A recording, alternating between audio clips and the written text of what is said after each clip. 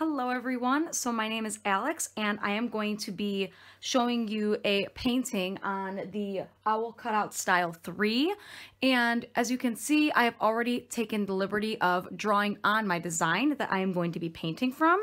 And I did just use pencil. So if you want to take a moment right now to pause the video and draw out what I have here or add anything or take away anything you are more than welcome to. I'm going to kind of talk about supplies and stuff really quick before we get started. So um, I do just have, you know, a cup of water here. I do have two brushes that I use for um, most paintings that I do, which is a big flat brush and then a more narrow pointed round brush. So I like to use those brushes mainly. This is the 18 inch cutout, so it is pretty large. This does come in um, a 12, 2, and um, a 6 inch. So just depending on the size of the surface, depends on the size of the brush.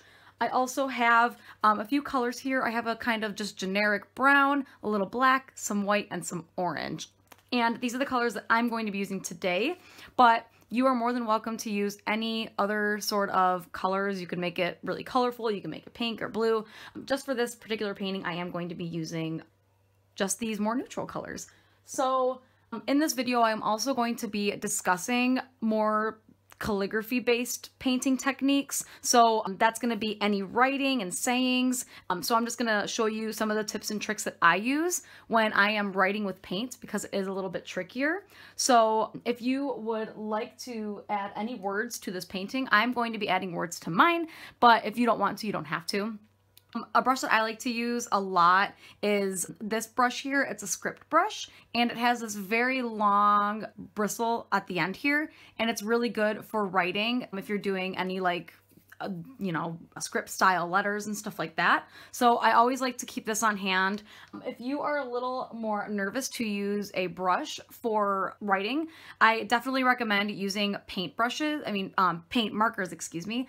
So um, I got this brand from Walmart and it comes in all the colors that you need. Um, I just have black and white here because that's mostly what I use to write. Um, and they come in different tips. This is a fine tip one. So if you're looking for an easier way to write stuff on your boards, um, this paint pen is like literally perfect for it. All you gotta do is shake it, pump it, and then it's ready to go. So I will show you um, both techniques with the brush and with the pen today. Okay, so for the very first step here, we are going to um, get our brown on here everywhere. So I'm going to be doing this brown in all of these areas here around the eyes, and I'm going to add this brown with some white when I do the wings and the little tummy and around the eyes. So this is going to be a lighter brown that matches the tummy and the wings. And then this circle here is going to end up being painted white and then we will add a little black pupil in there. So that is why I have two circles for each side. Um, and then I will do orange for the beak um, more towards the end. So we're going to just go ahead and start mapping some stuff out. So I'm going to be using my big brush for this. I want to make sure that it gets nice and dry before I get started. And what I'm going to do is um, grab some of that brown on my plate and I'm going to just go ahead and start adding the paint on here.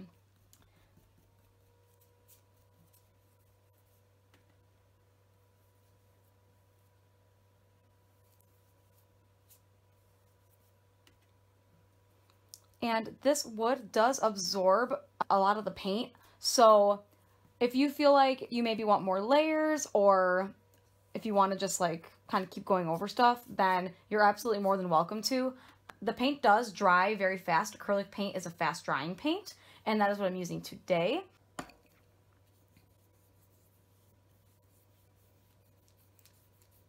So I'm just kind of taking this around here. And you're more than welcome to speed up the video if you're kind of breezing through this. I'll probably end up putting a time lapse here just to speed things along and just to show you where I'm placing the brown.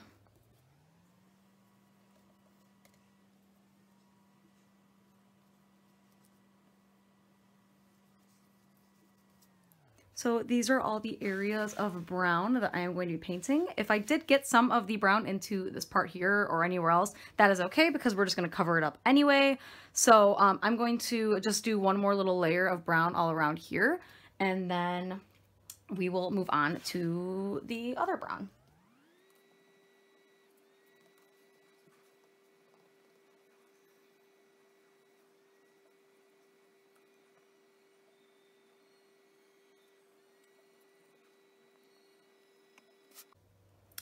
Once I have all of the brown on here, if you want to pause the video while you're painting, if you're taking your time, um, this is where I'm at with the darker brown color.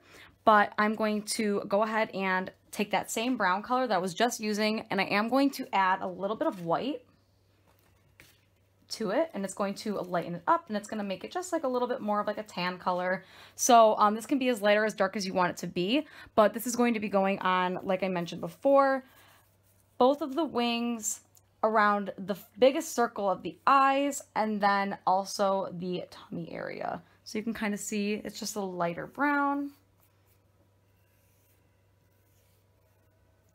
And if you want it darker than this, lighter than this, I might just um, darken it up a little bit by adding more brown.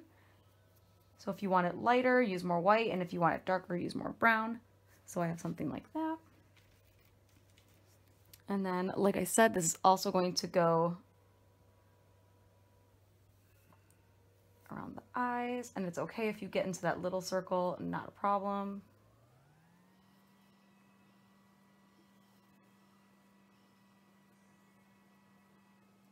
just like that.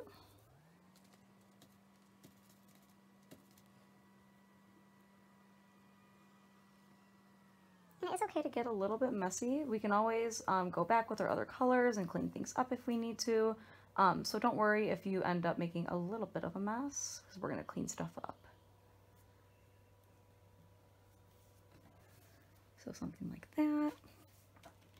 And then I'm just going to continue on and color in the other wing and the stomach. So um, I'm going to go ahead and pause right here and then we'll get back to um, the next step.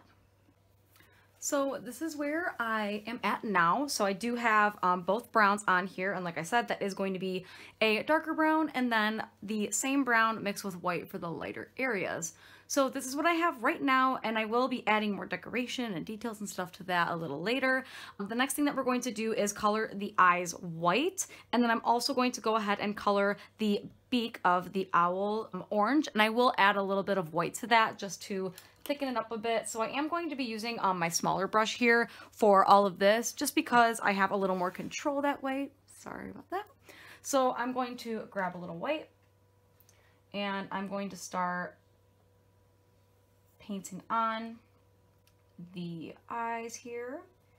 With white paint, you guys want to um, know that the white paint, it's, it's a really great color and it goes on really, really nicely. Um, the one thing about it though is that as it dries, it does dry a little bit more clear and less opaque. So I definitely like to keep a hair dryer um, nearby. Um, and then I like to use the highest setting and the hottest setting on the hair dryers. And that dries um, the paint really, really fast because the white paint does need at least like two or three coats, especially with the wood boards. Um, if you were painting this on a canvas, you could probably get away with doing less just because um, the paint doesn't get absorbed as much. But I'm going to just go ahead and keep painting the eyes white here.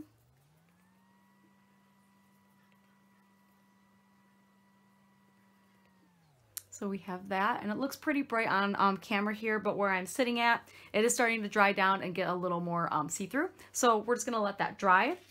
And then since I already have the white on my brush, I'm going to start diving into a little bit of that orange. And you can use whatever color you want for the beak. It does not have to be orange. I'm just using this. So I'm going to mix a little bit of white in there. Orange is another color that is um, a little bit transparent when it first goes on. So I always like to add a little bit of white to any paint that just needs a little bit of help being a little bit more opaque. And it also lightens it up to soften it a little bit.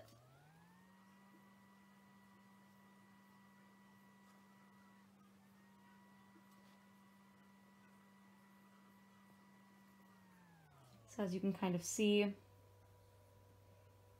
does get just a little bit see-through. It is starting to dry um, and you can kind of see that background um, from the board showing through. So I am going to take this to a hair dryer. Um, I'm going to fully dry the white and the um, beak and then I'm going to come back and it will be added another layer of white to the eyes and another layer of orange to the nose. So like I said, again, I do recommend keeping a hair dryer nearby or um, just going to a hair dryer and drying in between layers, especially like this. So I'm gonna go ahead, dry those, add another coat, and then I will be right back for the next steps. All right, so this is where we're at right now. I just got the um, last layer of white and orange on the beak and the eyes. So the next thing that we're going to get into is actually um, writing our little um, message or quote or saying um, on the little belly here of the owl. So one thing I want to talk about is a great way to find um, ideas for different fonts and writing styles. Um, there is a website and it is called dafont.com. That is D A F O N T.com. And they have hundreds and thousands and thousands of different um, font styles that people create and put on the website. And um, what I love about the website is that you can pick a font that you like and you can type out the thing that you're going to end up using or like painting or writing or whatever. And it will show you how it will look with the words that you are going to be using. So I love to use that website all the time for when I'm trying to think of um, different fonts and stuff to use. So for today, I'm going to be using chalk to write on the message here just so you guys can see it a lot better. I would recommend using pencil for you guys because um, sometimes the chalk gets a little too dusty and it leaves a little bit of a film um, after you erase it. Um, chalk does come off with a little bit of water on like a damp rag like I have this one here um, or a paper towel once the paint is dry. But like I said, I'm going to be using this little chalk and if you want, if you have chalk at home, use it. But I, like I said, I'd probably use a pencil if I was just doing this on my own. So the little quote that I'm going to write on here is love who you are, but instead of W-H-O, I'm going to be writing who, H-O-O-O-O, um, like how an owl says who. So that's just a fun little thing I'm going to add here. But like I said, you're more than welcome to add anything else that you want. So um, I'm going to write this out with the pen, um, my chalk here, just like how I would write with a pencil or anything else. And then um, I will go ahead and show you what I have, and then I'll show you some techniques on how to paint it. All right, you guys, so this is what I have written out, and it says love who you are. So um, I'm going to show you techniques with the brush, like how I mentioned before in the beginning of the video, and then I'm also going to show you how to use um, the little paint marker here. Now, for the purpose of this, I am going to be um, just doing this writing in black. You could do it in white, you could do it in whatever color you wanted, but I'm going to do black just for teaching purposes. So I am, like I said, I'm going to show you with the brush first. So I just cleaned off this um, really scripted little fine tip brush here. This is really, really good for um, like doing little line work and then you can press harder to get those uh, more thick and thin lines. So I'm going to show you what that looks like now. I always like to kind of dust off some of the chalk before I get started. But like I said, if you use pencil, then um, that's even better and you're good to go. So I'm going to be dipping into a little bit of black. Another technique that I kind of like to do with um, some paint when I'm writing is if it, the paint's a little thick, then I like to just grab a little touch of water on my brush and add it to the paint that I'm going to be using. And it just thins it out a little bit and it also makes it more like an ink, which is really helpful. So for this um, specific font that I have here, um, I am going to be making thick and thin lines. So I'm going to start right up at the top here with the love and I'm going to make this line thinner and I'm going to make this line thicker. So just watch how I kind of do it. I'm going to set the brush to the side here and I'm going to gently kind of paint my first line. And like I said, adding that water really helped um, kind of thin out the paint a little bit. So I have this thinner line here. I'm going back in with some more paint. And then when I come back down and around, I'm just going to do a lot um, heavier of a pressure. So I came up like this, I'm coming down and I'm pressing with the brush, pressing, pressing, pressing. And then as I am done with the letter, I am going to light off the pressure so that I get a thinner line um, when I'm going to start connecting it to the next letter. So just kind of like this. I have that thin line here to that thicker line. It's that kind of um, like really classic um, script kind of font that is really popular these days. So Um, pressure is key when you are um, using the brush. So I'm going to show you again. Um, like over here, I'm just going to kind of match this thin line with that first one I made. So I'm to just kind of stay thin. I'm keeping pressure light, doing something like that. And then I am always referencing um, the font that I have chosen. So I'm looking at my laptop right now at the font and I'm going to um, just kind of try to duplicate as best as I can. It's good to have reference when you are painting. So for this one, um, it's going to be a little bit thicker starting um, with the left side of the O and then it gets a little bit thinner. So what I'm going to do is kind of create that heavier pressed O. I'm using um, more pressure to start this time. I'm going back up and around. I'm going a little bit lighter. When you run out of paint, just start grabbing a little bit more. And I'm going to come back around and meet to the V. So like I said, I have a little thicker of a left side and then it's going to thin itself out. So that's the techniques that I like to use. Um, is just really good pressure and a steady hand hold your brush as if you were holding a pencil. Don't hold your hand so far away over here. I like to hold it nice and close so I have really, really good control. Um, so that's kind of a technique that I'm going to do with the brush. So especially for um, more script style fonts, I do prefer a brush over the paint pen. So I'm going to um, go ahead and finish off the writing with the brush here and then I'm going to show you the paint pen um, on the more just like regular kind of box lettered um, who over here. So I'm going to go ahead and continue on with this.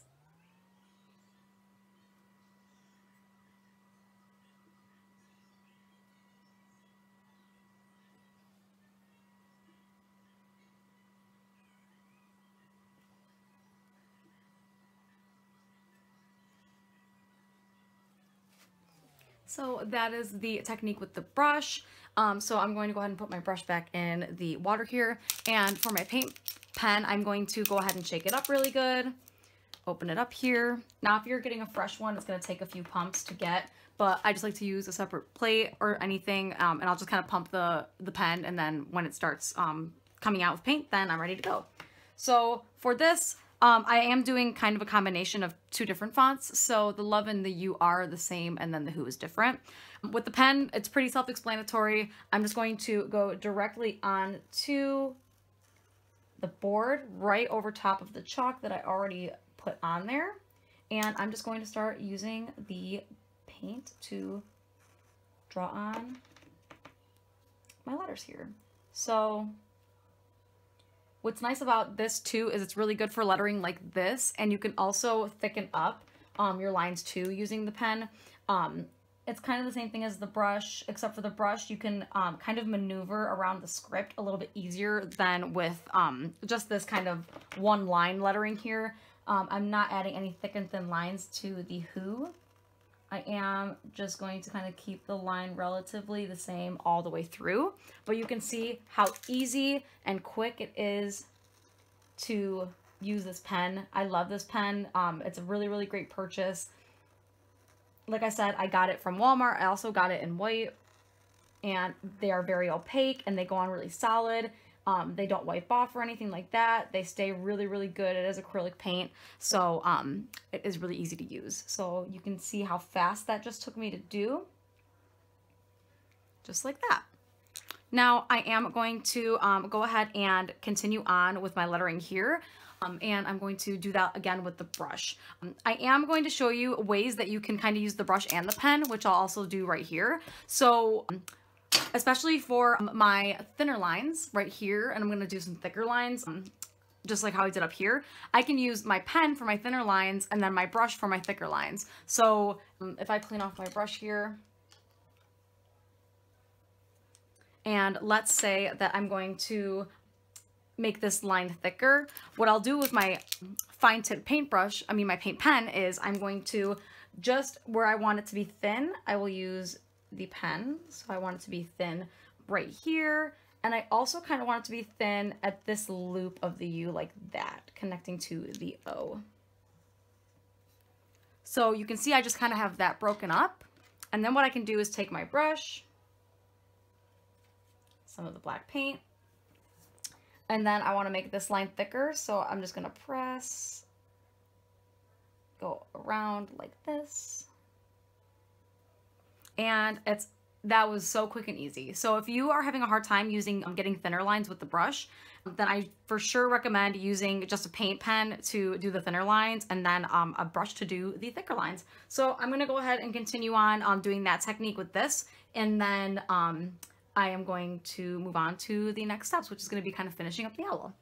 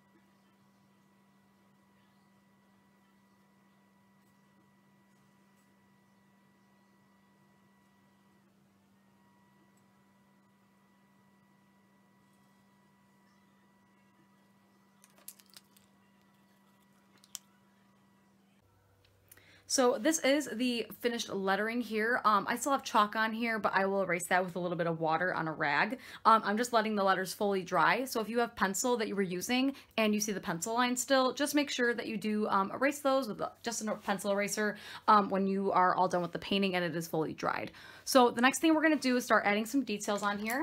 So I am going to be using um, this kind of like long more rounded tip brush here um, for the eyes. And what I'm going to do is I'm going to place a smaller circle that's more closer to the center here um, in both eyes. So I'm going to do one closer to the center here and one here. And I am just going to be using black paint to do so.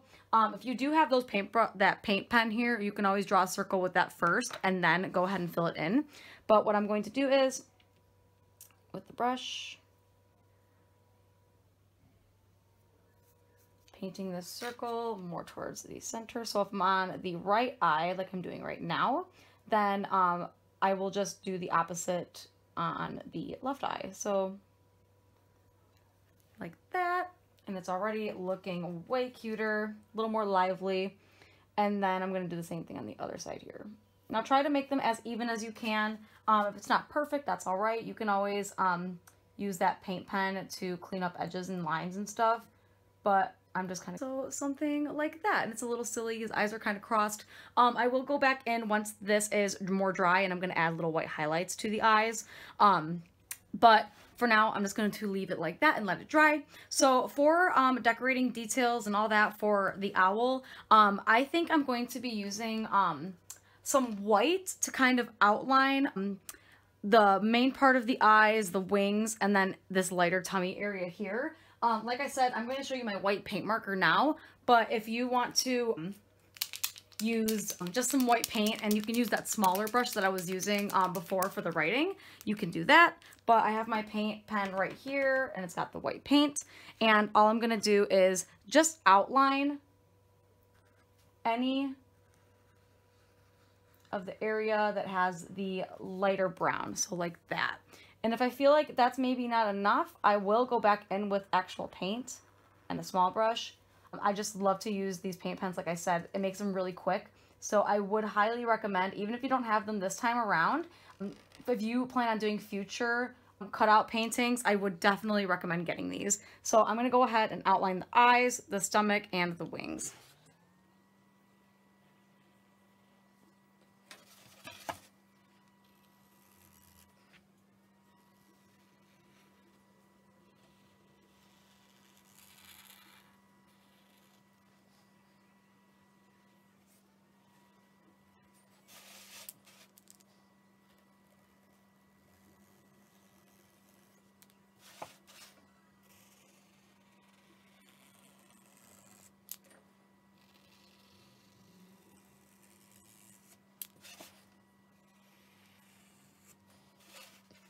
So those are the white lines I'll add it. I think it just really cleans everything up and it makes the lines a little cleaner and it um, just brightens up the outline a little bit. So this is what I have so far. Now, um, as far as the wings go, I'm also going to use this marker to um, add in just a little bit of texture to the wings and stuff like that. Um, I am going to take a pencil really quick and I am going to draw out what I'm going to do first.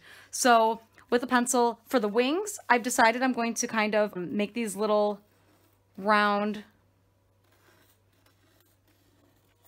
little bumps on the wings. You can kind of see that right there, just to give them a little bit of texture in a more fun and kind of cartoony way. So I'm just doing like three bumps or so. And I'm going to do that on either side.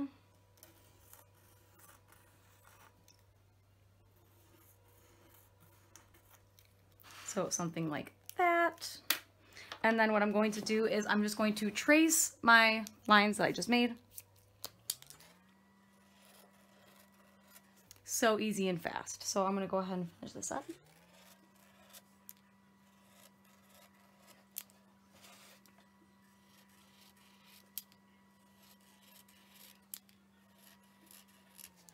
And just like that, that took nothing. So I'm going to, um, if I feel like I need to add more layers and stuff, I absolutely can, and you're more than welcome to, but I'm going to leave this for now. And then anything else I'd want to do, you could always add um, a few extra like little lines. Like we have these kind of feathery um, little points of the ears that the owl has. Maybe I'll just go in with a few little tiny dashes to kind of add some texture there.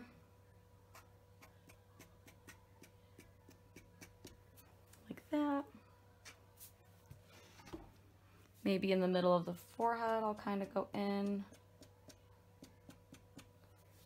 Like I said, that's why I love having this pen because it makes everything way easier. So that's as much probably detail as I'm going to add um, as far as feathers and stuff go. Um, you're more than welcome to add anything else more that you want to. I'm also going to take this white pen here and I'm also going to um, outline the little beak here just because I feel like it now that I'm looking at it it just needs something too since everything else is outlined. And I any chance I get I love adding highlights to my my stuff here. So especially with like a little animal like this um, I'm gonna add a little white shine onto the beak and I will use um, my paint for this just because it is a little bit um, thicker and it goes on a little bit more glossy. So with my thinner my thinner brush here, excuse me, I'm going to take a little bit of white and maybe I'll just add some going one like this.